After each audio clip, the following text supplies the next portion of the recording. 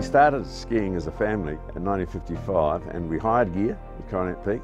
Then came back in 56 and that's when I got my first pair of wooden skis. Notice the rat trap bindings? With you strap yourself in, you had a safety strap on so your ski didn't, doesn't take off down the mountain. But the big thing you'll notice is how long they were. They were parallel type skis and these are 210 centimetres. They used to take the height of a ski as being up to about your wrist level. These New Zealand ski yearbooks, they were bought out every year and I've got every one from 1952 till 1970. Prior to 1946, 47, around about that time, there was nothing formally going on in this area and it needed a second season and you've got to admire the vision that Harry Wigley had. Between the long lake and the hills, Queenstown.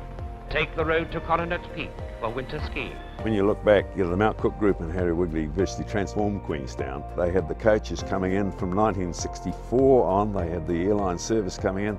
There'd always been light general aviation here before, but nothing linking the, the main centres with the town. This is the, when I was a ski instructor in 1964.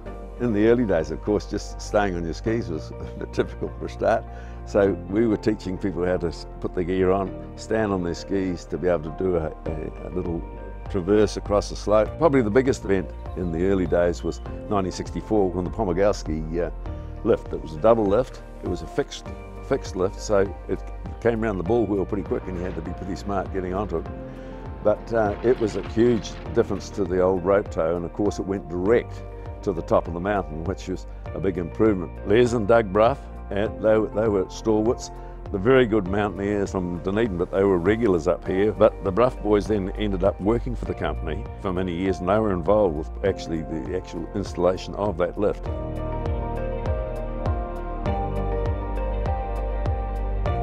Sugar Robinson was actually the, the go-to man that Harry had here. And if things had to be done, he got them done. And, and he was sort of one of those original number eight wire men. The Sarah Sue run was named after Sugar's wife and, uh, and his daughter, I think. And then, of course, Arnold Ivers, who was a, who was a great stalwart. He's got a run up there Arnold's Way. People probably don't realise the significance of some of these runs. They were some of the personalities of the time.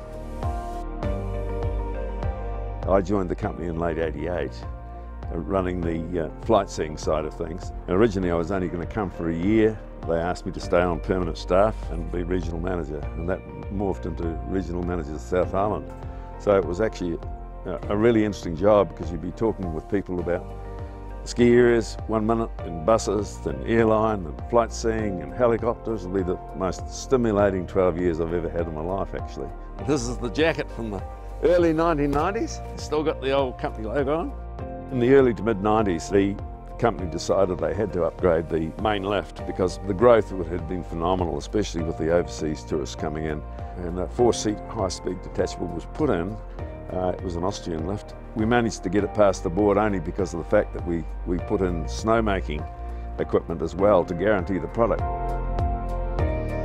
Queenstown Winter Festival the Winter Festival was a tremendous kickstart for the season. It had some great events in it and got good TV coverage. We'd get, we'd get a few personalities down here. People had a, had a lot of fun and, and it sort of revved things up for the winter. yeah, picnic bar from last season. I forgot I still got it in there. As I look back over 75 years, I've seen tremendous development. For example, the, the new facilities, the new, the new base building, the huge investment that's gone in, in, more recent times with Sir John Davies has put into the operation. A really nice sealed road compared with the boggy road we had from the skippers up to the, to the base build. And I can remember in heavy snows in the early days having to help carry the food up to the pie palace, as we called it, the place where we used to get our food. And the easy access to Queenstown is the big thing about it. You know, if a person with a private car can leave their hotel and 20, 25 minutes later they they can be clipping on those boards and, and uh, skiing onto a lift. That's pretty good. I still look forward to going skiing. One of the things, the advantage at my age, I actually get a free ski pass, so there's a hell of a good incentive.